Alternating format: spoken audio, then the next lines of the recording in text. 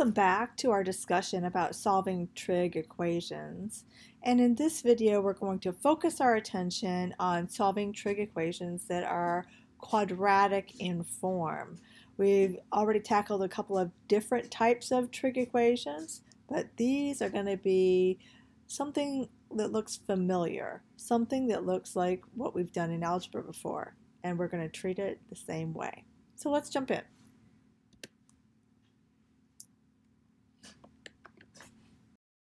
But before we jump into that, we're going to introduce a new concept. In the past two videos, we've been talking about solving for general solutions or all possible solutions. We're going to introduce this concept here where we talk about solving for the principal solutions only. And all that means is we are wanting to identify the solutions that are found on one rotation of the unit circle. So everything from 0 to 2 pi, but nothing beyond that. Okay, so nothing negative and nothing greater than 2 pi. With these types of examples, we will be seeing equations that are quadratic in form. Okay, so if you have an equation that's quadratic in form, you are just going to treat it like a quadratic equation. And the way I'm going to show you how to do that is first set the equation equal to zero, and then we're going to sub out the trig function so that we can look at it more objectively like a true quadratic. And then we'll factor it and set each factor and then set each factor equal to zero and solve for x. So let's walk through that process with this particular example. We have 2 cosine squared of x plus 3 cosine of x equals negative 1. Now we know this is quadratic in form because of two things. One, you have um, only one trig function within the equation. So all I see are cosines. Uh, I don't see sine, tangent, anything besides that. Okay. The other thing is the highest degree is a squared, and I may or may not have a trig function that is not being squared. And I may or may not have a, a, a constant for that matter. Um, the, the key thing is we're going to have um, no more than one trig function, and that trig function has at least one term that is raised to the second power. So first, let's set this equal to 0. So let's move that negative 1 to the left-hand side of the equation, and then we could say 2 cosine squared of x plus 3 cosine of x plus 1 is equal to 0. Now, we see that it's quadratic, but maybe it's harder to see it as a quadratic equation. So let's say that u is equal to cosine of x. Well, if u is equal to cosine of x, then 2 cosine squared of x would be the same as 2u squared. And 3 times cosine of x would be 3u. So I'm going to treat this like the equation 2u squared plus 3u plus 1 is equal to 0. Now, I'm going to go ahead and solve that quadratic, and you can use any method that works to solve this quadratic. I will rely on factoring because to me that is the fastest way. I know that this quadratic factors to 2u plus 1 times u plus 1 is equal to 0. Then I'll back substitute my um, original argument back in. So 2 cosine of x plus 1 times the cosine of x plus 1 is equal to 0. Now you can go ahead and solve for u and then back substitute. Either way is fine. Um, so now I'm going to set each of those factors equal to 0 and solve. So 2 cosine of x plus 1 is equal to 0 and cosine of x plus 1 is equal to 0. Let's um, isolate the trig function. So we'll say the cosine of x is equal to negative 1 half here and negative 1 here. And then pull, uh, pull the angles from the unit circle that have these cosines. Where is, which angles have an x-coordinate of negative 1 half and negative 1?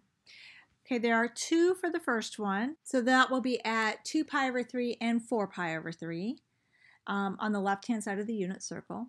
And then where's a cosine negative 1? Which angle measures have an x value of negative 1? That will be uh, at pi radians.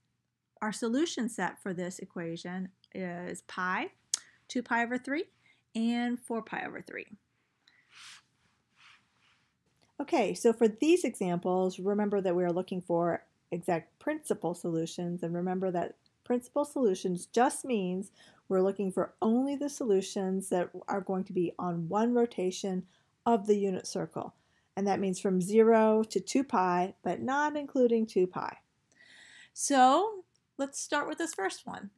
2 sine squared of x is equal to negative sine of x plus 1.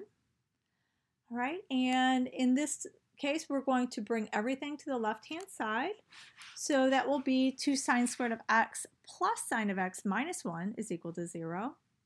And then I will write this as a quadratic without the trig function. I will let the I will let my substitution be u is equal to sine of x and then substitute that in. So I'd have 2u squared plus u minus 1 is equal to 0. All right, and so when I factor that, I'll end up with 2u minus 1 and u plus 1 is equal to 0. And now I'll back substitute my trig function. So I'd have 2 sine of x minus 1 times sine of x plus 1 is equal to 0. Set each of those factors equal to 0 and isolate the trig function. So the sine of x is equal to 1 half and the sine of x is equal to negative 1. And so I'll get two answers out of that first equation and one out of the second. Which angles on the unit circle have a y coordinate of 1 half and negative 1? That will be at pi over 6 and 5 pi over 6 for this first one and 3 pi over 2 for the second one. All right, and so that will be my solution set. Pi over 6, 5 pi over 6, and 3 pi over 2. For the second example, we're going to work it through the same way. We see it's a quadratic, one trig function. The maximum degree is a squared. So we can set the whole equation equal to 0. So we would say 2 sine squared of x minus 4 sine of x minus 6 is equal to 0. We will let our substitution be u is equal to sine of x and we'll treat this like 2u squared minus 4u minus 6 is equal to 0. Well, right away you can factor out a 2, and then you would have u squared minus 2u minus 3 is equal to 0, which will factor to 2u plus 1, u minus 3 is equal to 0.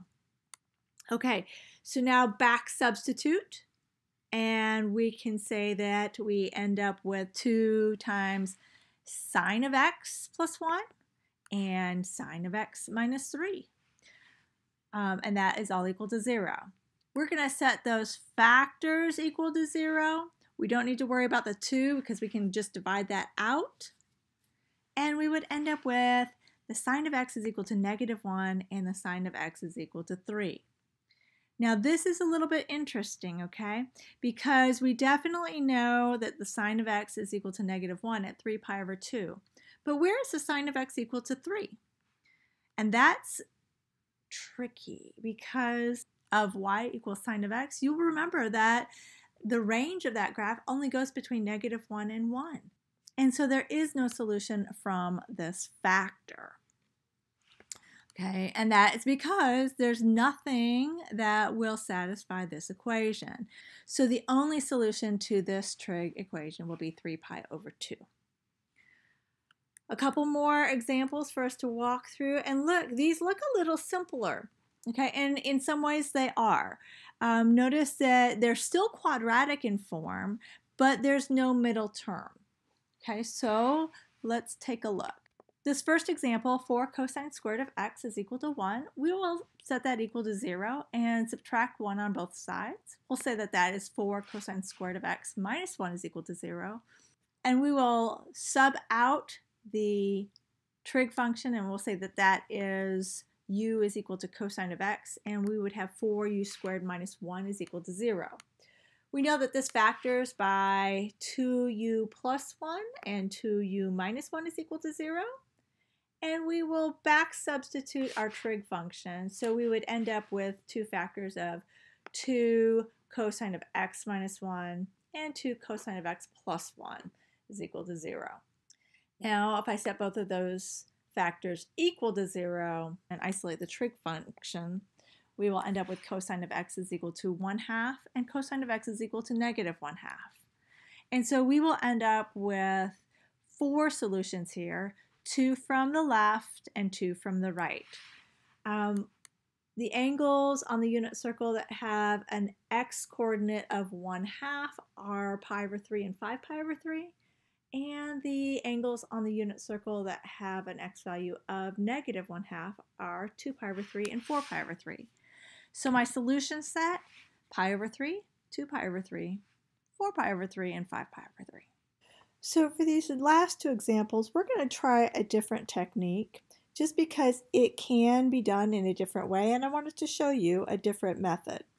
Okay, so if you're looking at 9 times the tangent squared of x is equal to 3, do you notice right away that there's a common factor of 3 on both sides of the equation? Let's go ahead and divide that out. And we would end up with 3 times the tangent squared of x is equal to 1. Now let's go ahead and isolate our trig function. So divide both sides of the equation by 3.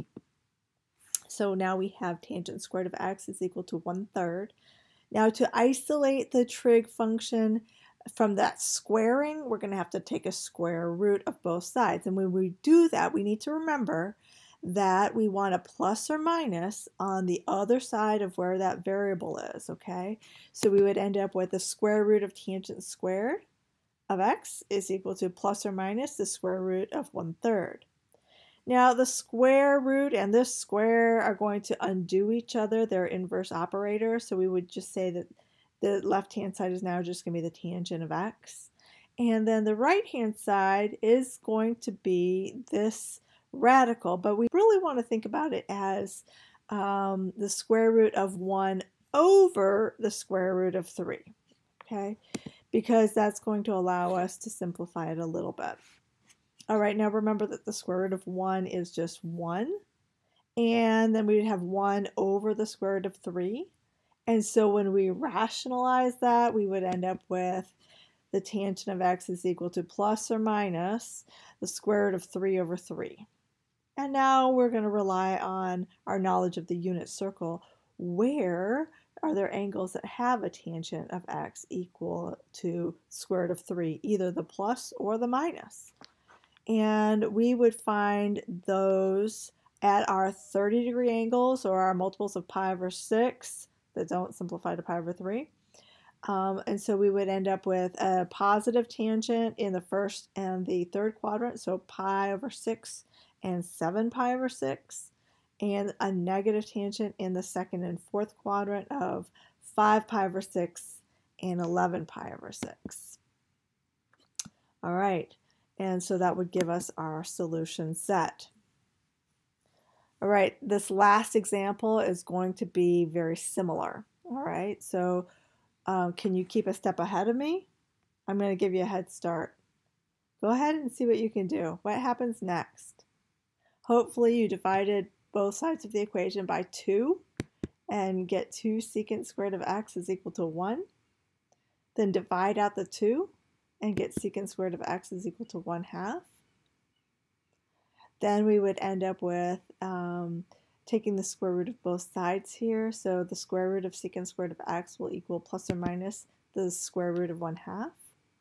So that would leave us with the secant of x is equal to plus or minus 1 over the square root of 2. And we can separate those, right? So 1 over the square root of 2.